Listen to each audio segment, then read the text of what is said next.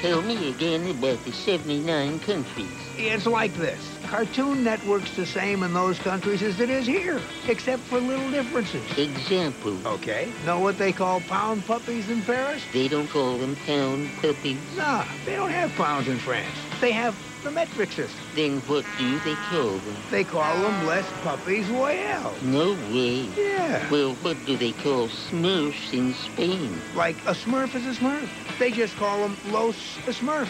Los Smurfs? Yeah, and in Morocco, Morocco mole is just called mole.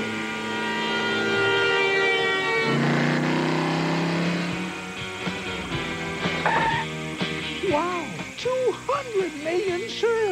I can't see over the wheel.